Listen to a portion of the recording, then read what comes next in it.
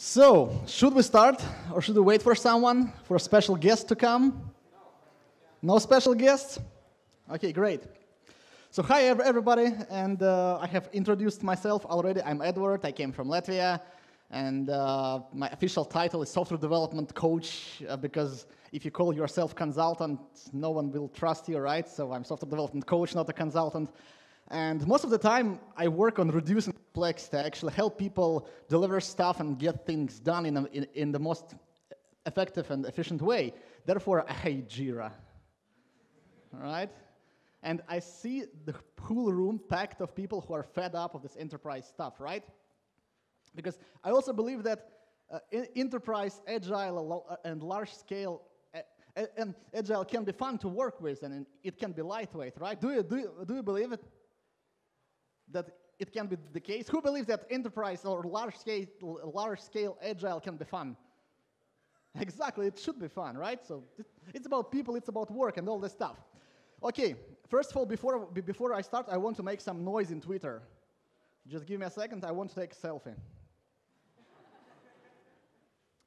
just a second, we have uh, more than enough time. Just give me a, just, just, just, just smile, guys, because as I usually say, I have to uh, because I will publish it on the social networks, and if you will not smile, people will, will think that I, will, I suck at conferences, right?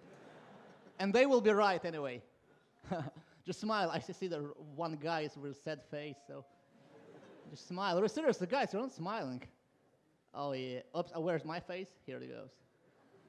Yeah, that's it. And I, I'll publish it on Twitter later. So I promised you jackpot, right? Here it goes. I promised you girls. No, boys, I promised you beer. By the way, we have a beer bottle. Roman, give me a bottle of beer, please. Here I go. Anyone? Beer? No? Okay. Here it goes. Please pass, uh, pass beer to, to that guy. Exactly. I want to get drunk after Jira talks as well.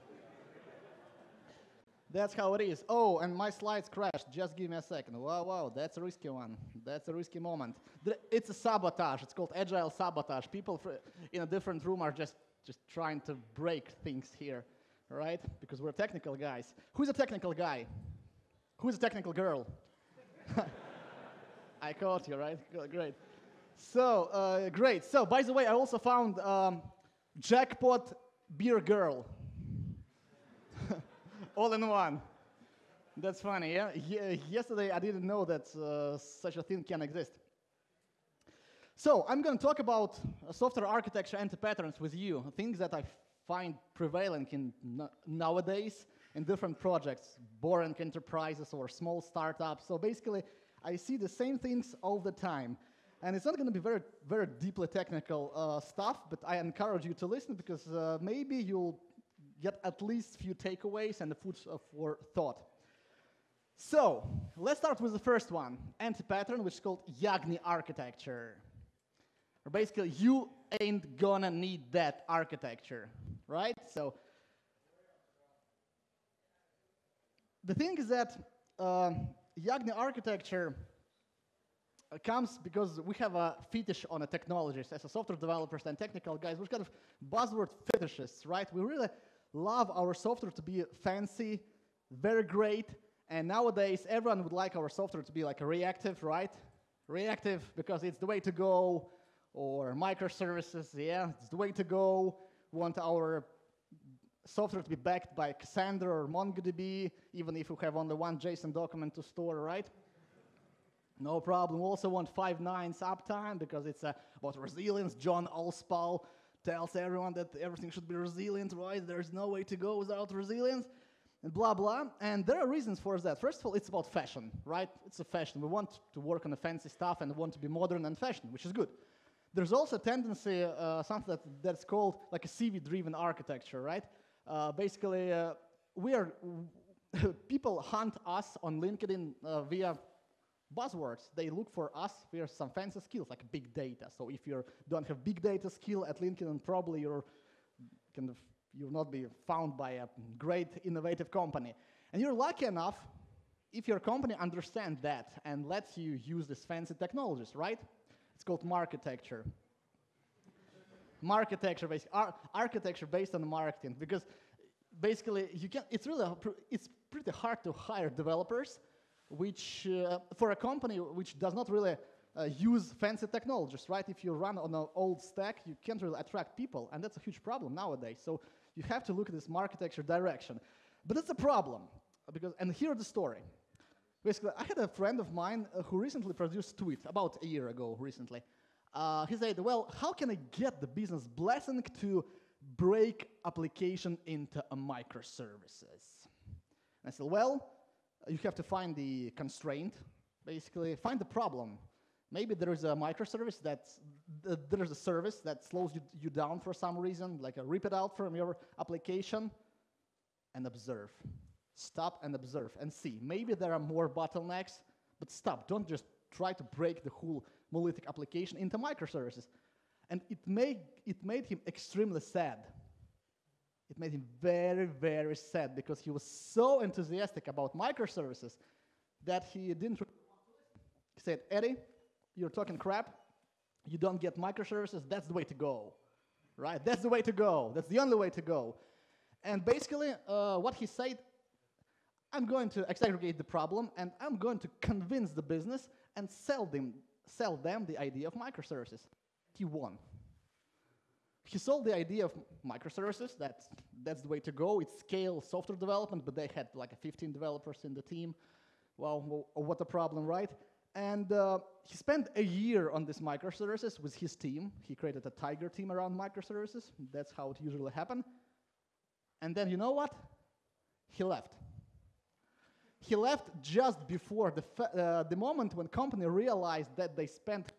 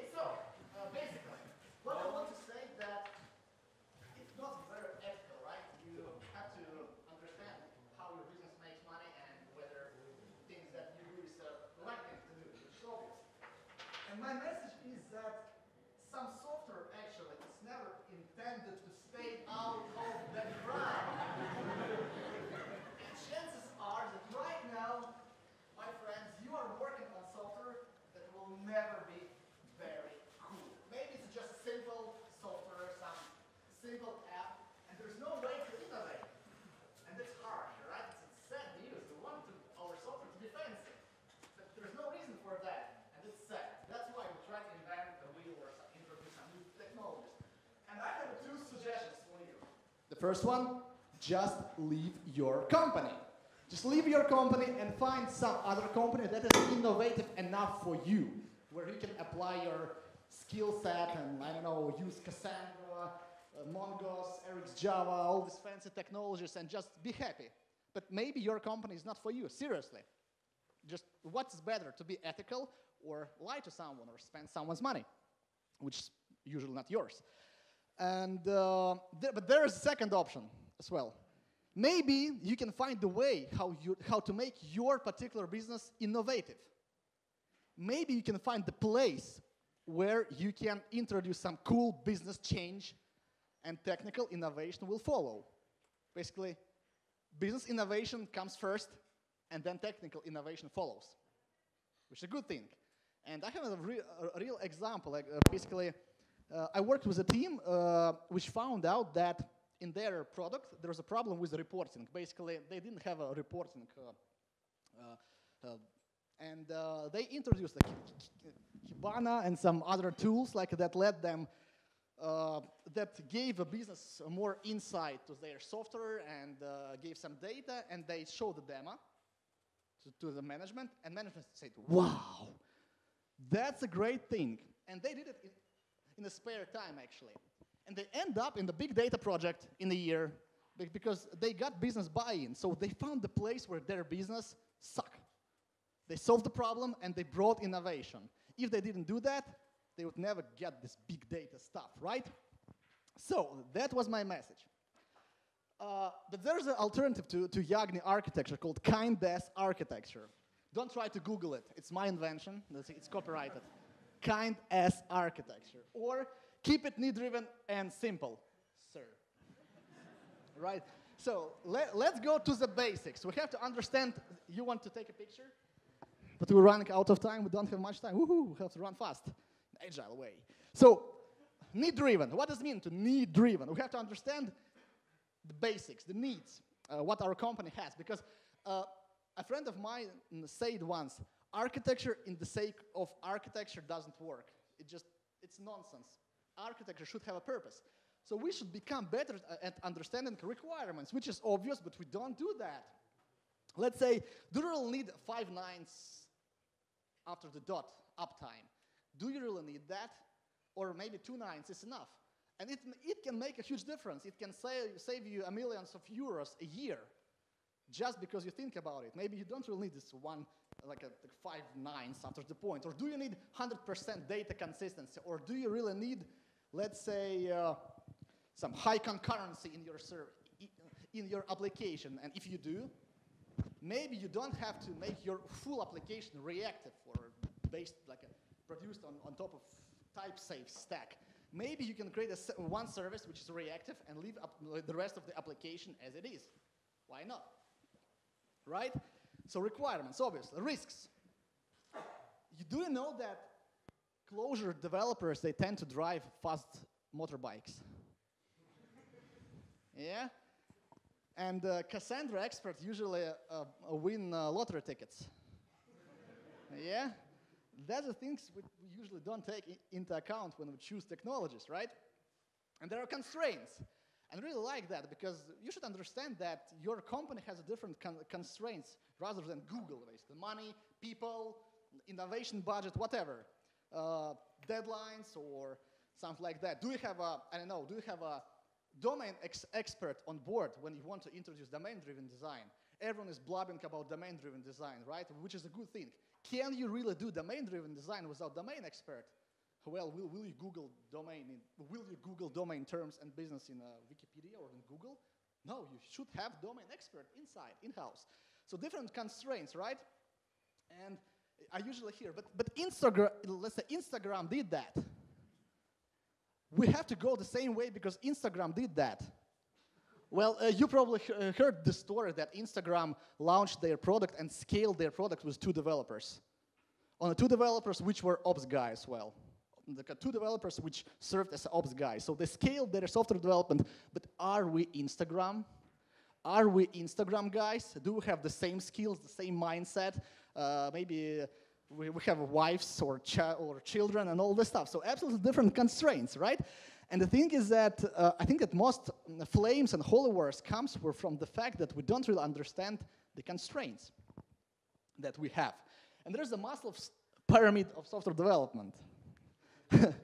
Basically, you, you should really understand where your company is now. Oh, this microphone makes me crazy. Let's say, is your business profitable at this point? If it is, uh, well, maybe it's a good idea to start doing more innovations like, I know, microservices stuff. But if your business is not profitable, should you really invest in a better technology? Maybe no. And if you look at the uh, this picture, which is uh, uh, taken from a Lean Enterprise book, basically Lean Enterprise distinguish three different evolution steps for your products, which is like, uh, and the most important for me is like are, are explore and exploit. Basically, at explore stage, you don't really know what your product is and what people are willing, and whether people are willing to pay for your product.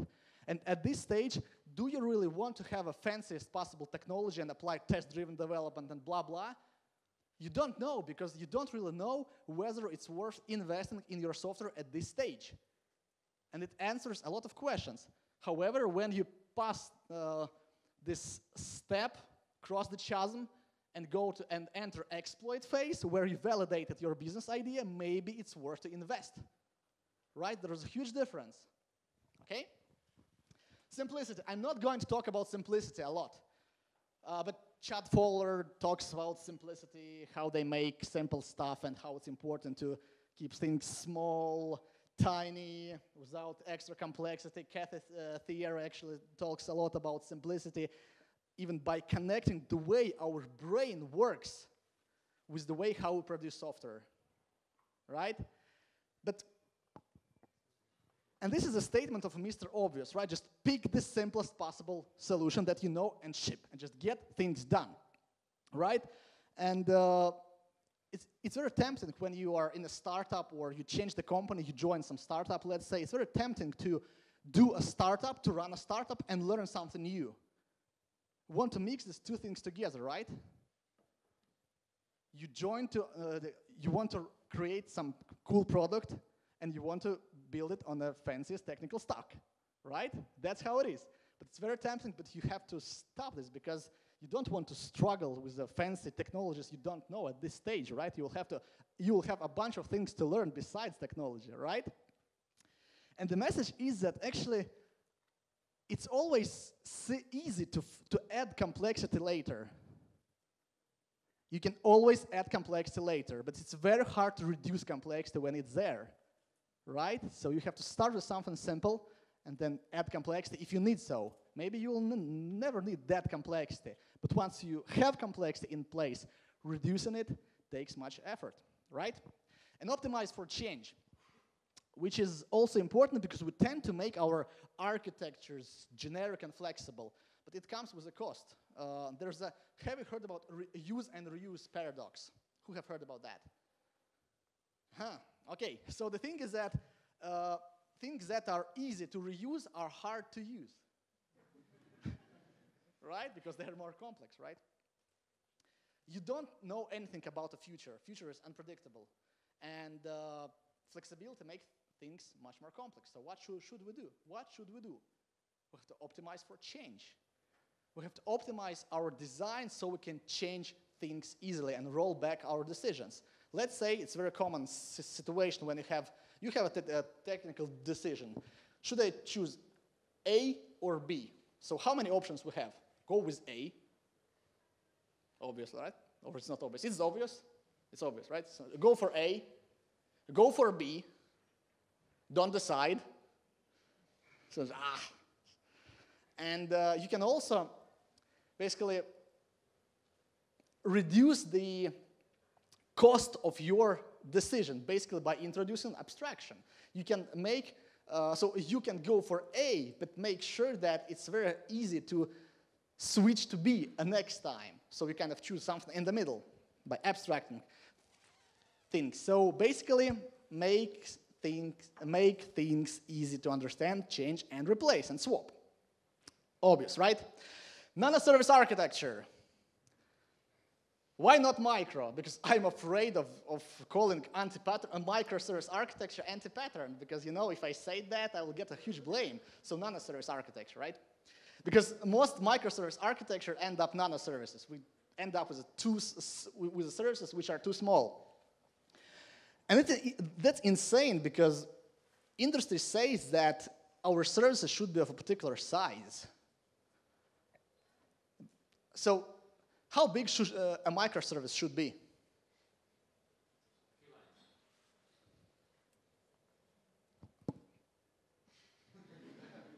Exactly.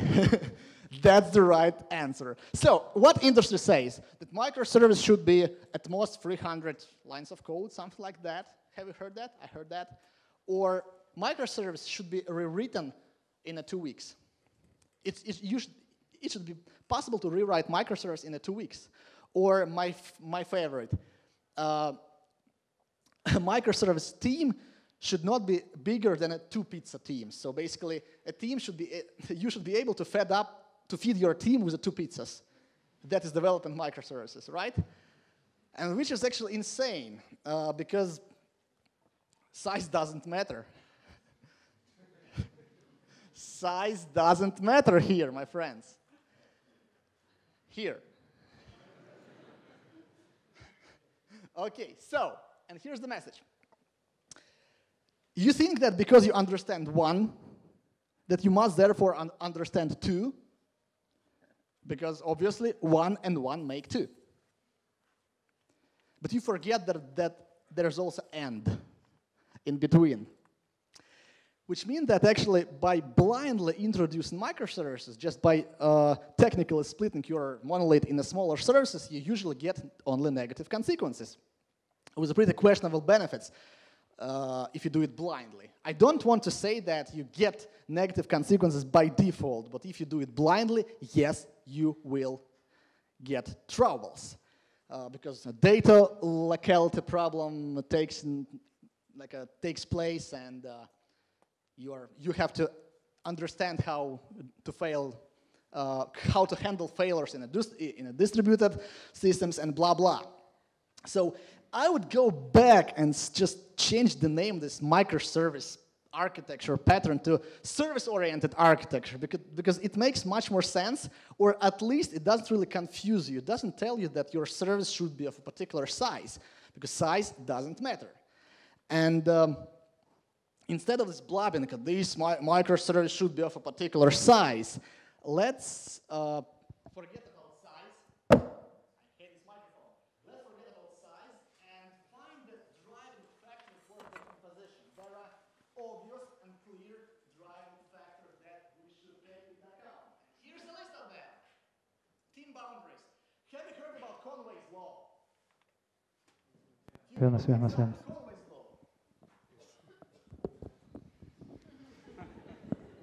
We guys are risking missing missing a lunch. But who, uh, lunch or coffee break, but who cares? Again, yeah? So, team boundaries. If you can't organize your teams around microservices, don't bother with microservices just don't bother because Conway's law strikes back all the time. If you don't want, if you don't know what Conway's law is, I encourage you to learn about it. I'm not going to explain right now. You can catch me later. Frequency of change. There are two services. One service changes much more frequently than the other one, but you have to deploy them together because they are part of the same monolithic code base. Doesn't make any sense. Maybe you have to decompose. Different responsibilities. Your software systems has different responsibilities and different people are responsible for the services. Decompose different cross-functional requirements. Some services may go reactive, some of them shouldn't really, decompose. Different technical stack. I want to try Groovy or Clojure. Build different service. Leave your code base, major code base, untouched. And just prototype. You say, if you need a prototype, create a service, just play with it and throw it out, or integrate it back as part of your software. Which is pretty simple, right? Does it say about size? Uh, is there something about size? No. That's why microservice stuff is pretty confusing. And staying big is actually okay. Absolutely okay. Because benefits of service-oriented architecture are definitely not in size. They're not in size, and you have to de decompose wisely. Okay? Structureless architecture, which is actually architecture when there's either no structure or there's such a structure that doesn't really bring any benefits. And here's the example. Boo. That's how we usually package our software. Controller, DAO, a domain service. Who has that? Choo. Don't be shy. Don't be shy. Come on, I know that. I know what you did last summer. Okay. So I'd like to burn this approach in fire, really. So, uh, Uncle Bob, or Robert Martin, says that there is a notion of screaming architecture. Your architecture should, sh your structure should, should scream about itself. Basically, it means that when you open your structure, you have to understand what your application is doing. In our case, our application is doing configuration, controller, DAO, domain, and exceptions, right? And it's insane. That's insane, but that's what I see here, and you too. That's insane. So it doesn't really reveal high-level components of the system, which is a bad thing, right? Uh, it actually does not reduce discovery cost. Basically, if I want to fix or find a source of a problem, and usually problem does not come with exceptions or DAO, right? There is a problem in particular functionality usually. So you have to collect your functionality back and just go to those different layers and find where your functionality actually lies, which is not very good, right? How often a source of a problem is a particular layer? Never, right? Never. And it doesn't really improve comprehensibility, meaning that I can't really study one particular, one particular part of uh, functionality at a time. I have to care about the rest when, because probably when you open the controller package, you will see a bunch of different controllers which are unrelated. And probably if you split controllers into smaller parts, there will be all these parts mixed together, right? Okay, and uh, it, it actually does not enable Poka-Yoke, but uh, which is a guiding principle in lean software development, like a, a constraints.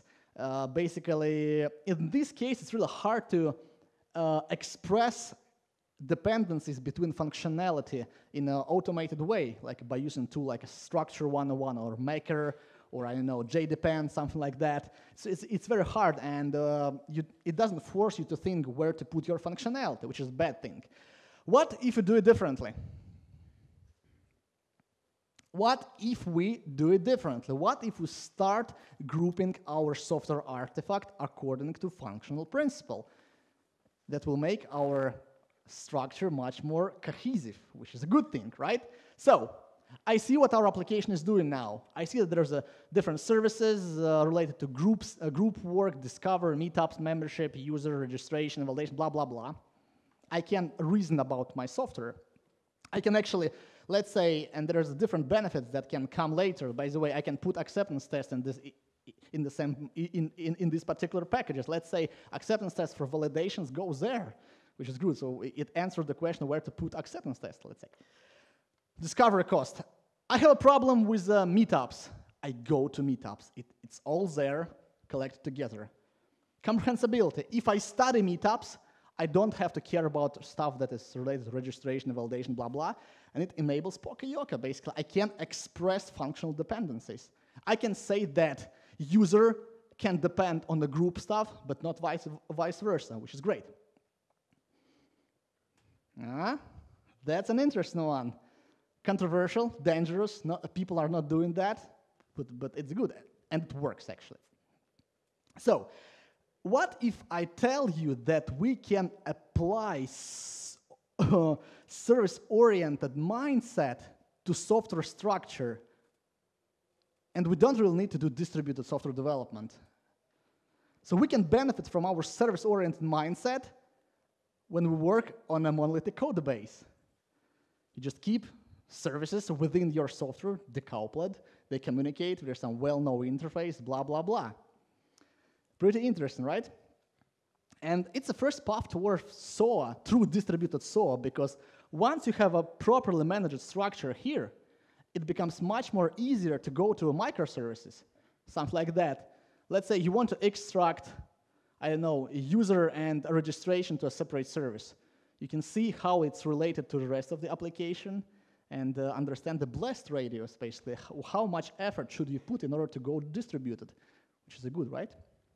Uh, do we have Java developers here, Java people? Java people. Okay, I'll skip the next slide then. Uh, Okay, let's talk about layering. Lasagna architecture. Basically, lasagna architecture, we end up with lasagna architecture when we have too much layers. Or it's also called onion architecture, because when you open so many layers, you start to cry. Just open layers and cry.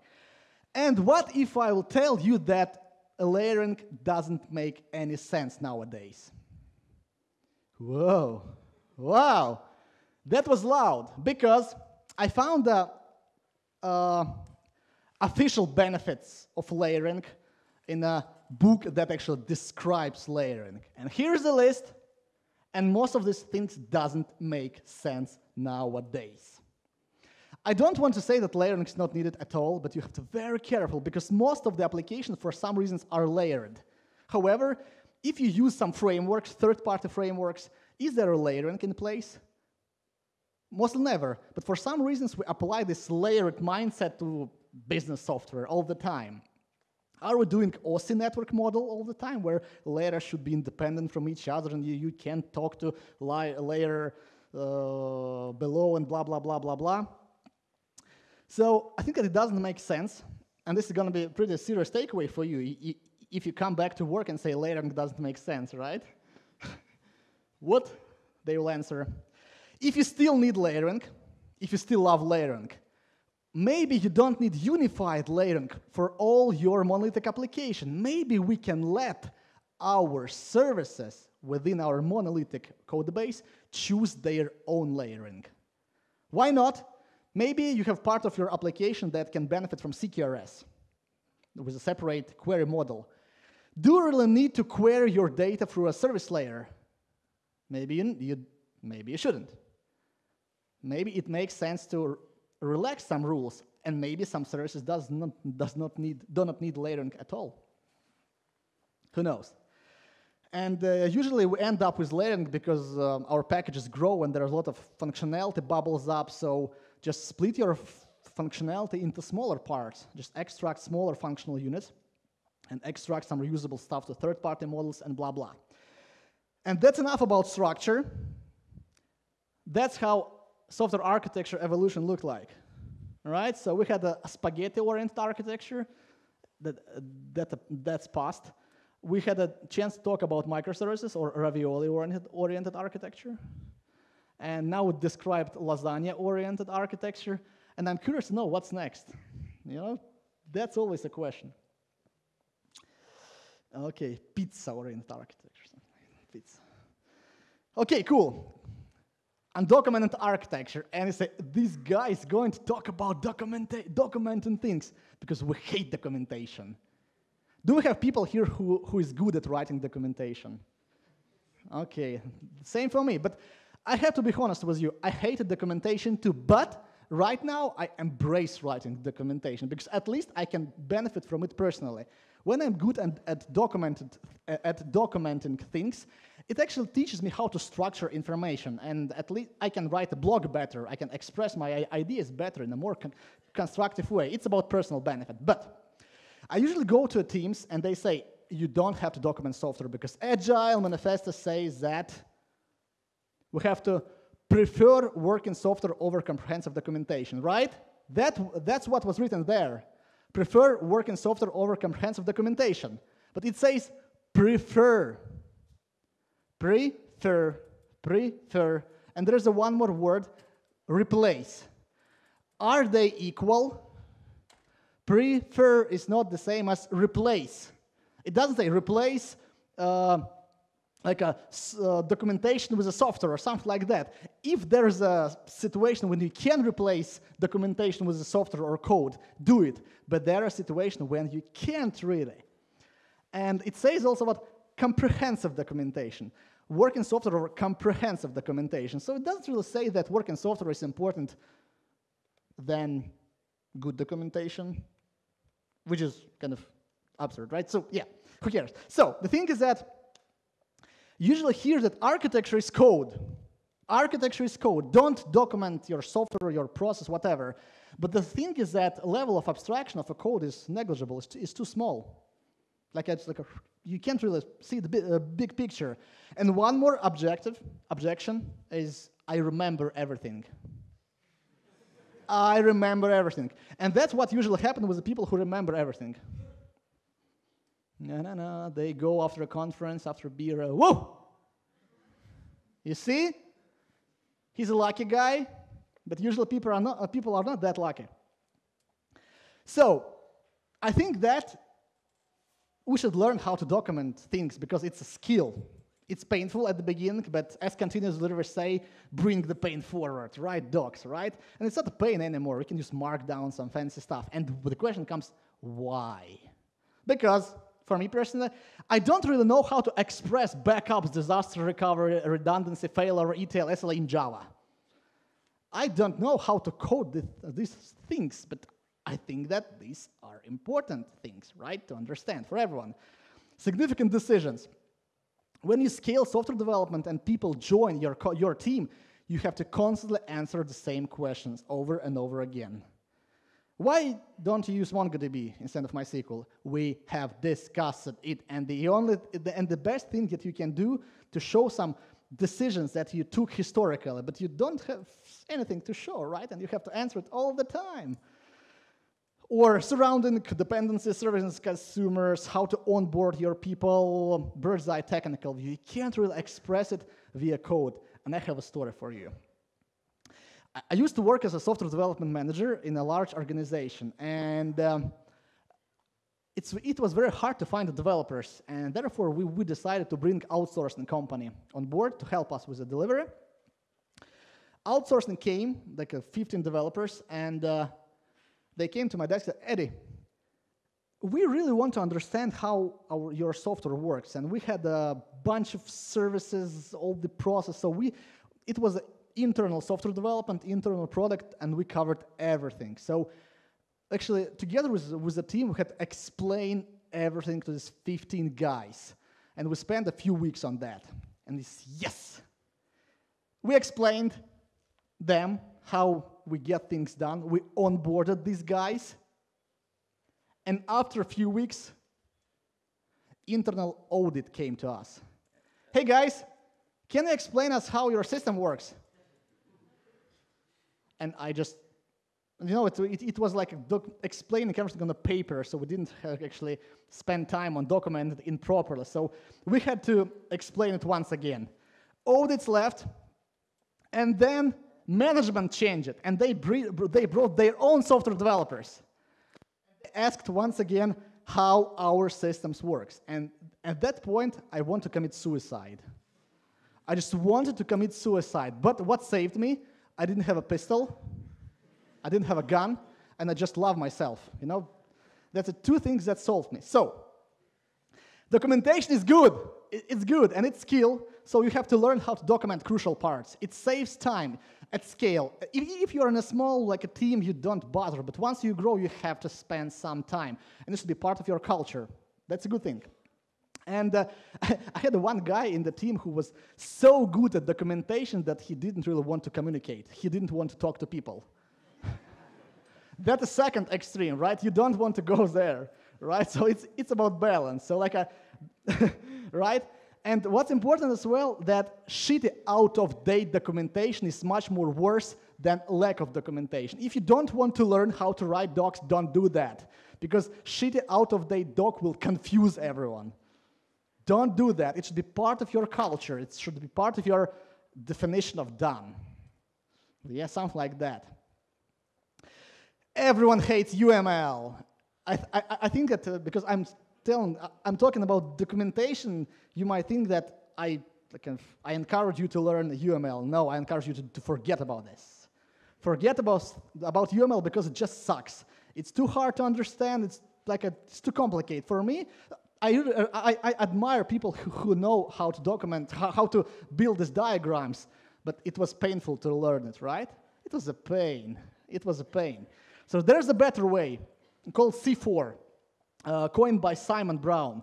Context, containers, components, and classes. Very lightweight way how to express your architecture in diagrams. And by the way, diagrams look fancy, Monkey, Twitter, GitHub, blah, blah. So there are a lot of examples uh, in Simon Brown's book, so I, I, think that you can go to this reference and just check later.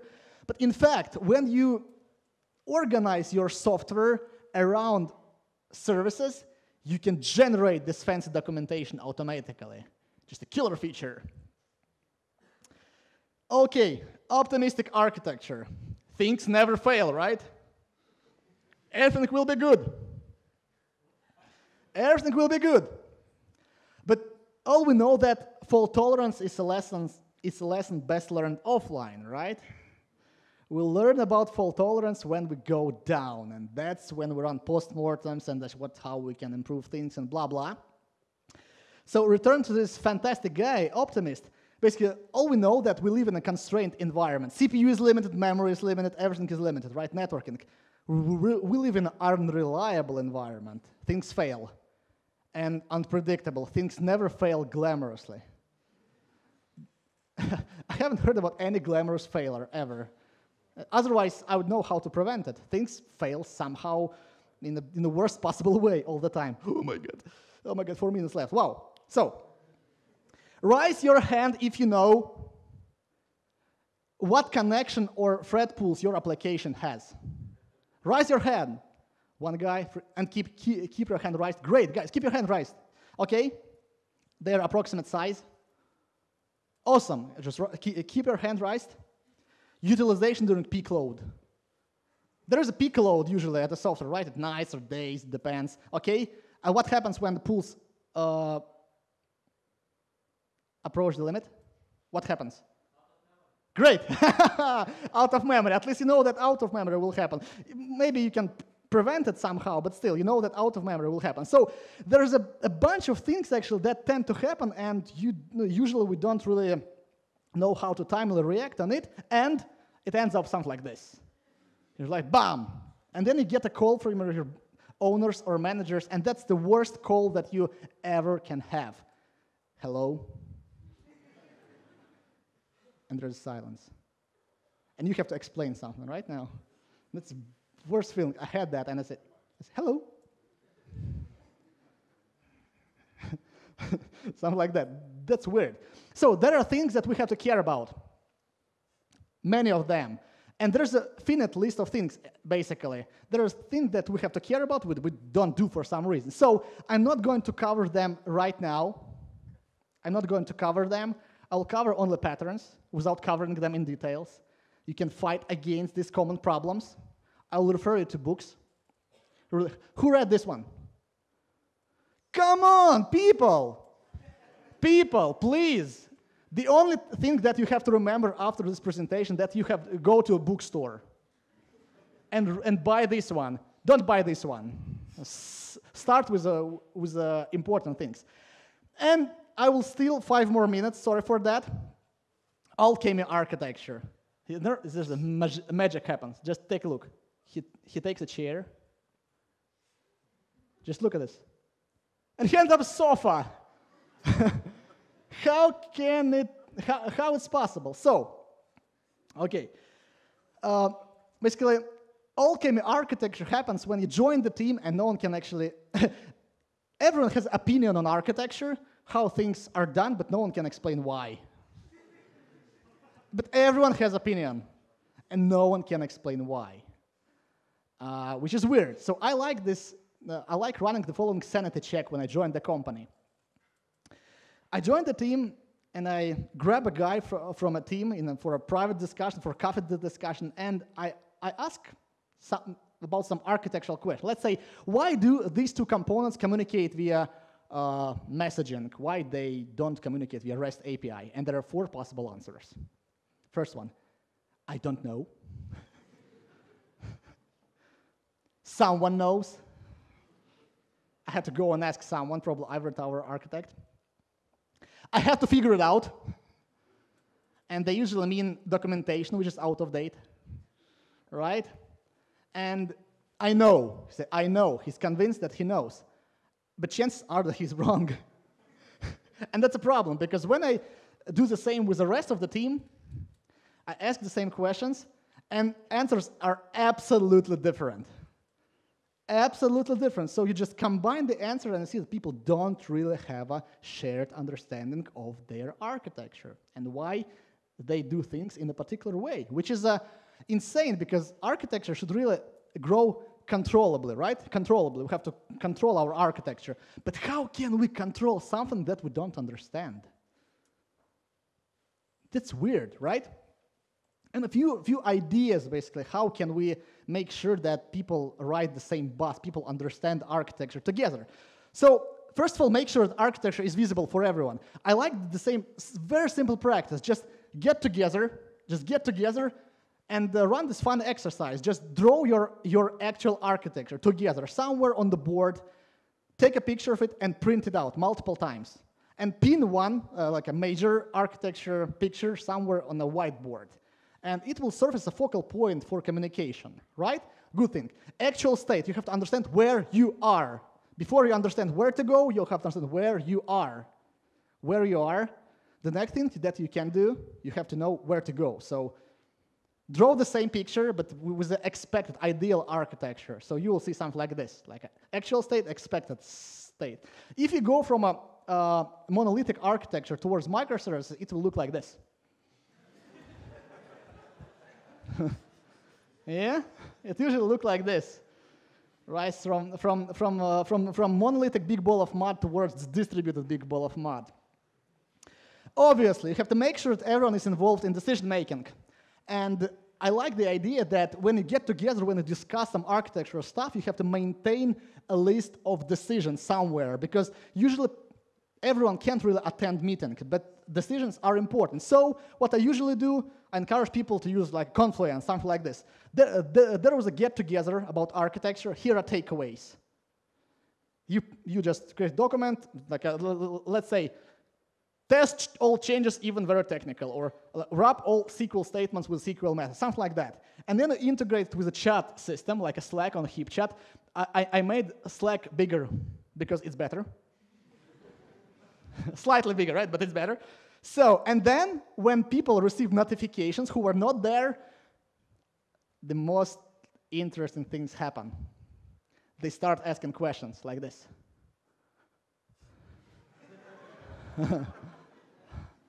so, and everyone is on the same bus at the end of the day, right? And the last thing, architectural pitch, basically. Uh, in one product company, uh, we decided that basically product guys who want to develop, produce some cool feature, they'll have to pitch it in front of the team. So the first thing that you do as a product manager or product owner, yeah, you just come to the team and say, we have to do this in this particular way because it will save millions uh, uh, dollars, it will increase revenues, it's great thing, wow, wow, wow, wow. So we have to pitch your product idea in front of the team. And I realized that we can apply the same technique as software developers. When you start developing something, get together with your team and pitch how you see your implementation. How do you see the way you implement things? And discussions start to happen around it, right? And that's the, if everyone agrees, great, go on and implement. Probably you'll have some suggestions uh, uh, and blah, blah. But uh, if someone says that it's nonsense, it's a bad idea, man. It's a bad idea. It's also great. It's a time to solve this at the earliest possible stage, right? Get some like a box fight, but come to shared understanding and common agreement. And I think that we missed some coffee break. That's it. Thank you.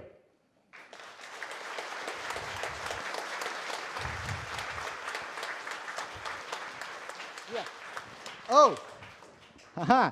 If you have questions, I think that you can ask them right yeah. now, or yeah. we can have a coffee or beer. Roman have two, two, uh, two bottles. So he said no. So uh, we have other one uh, questions. Someone. Next time. Next, next time. time. Next, next time. So, thank you. Okay. Thank and applause.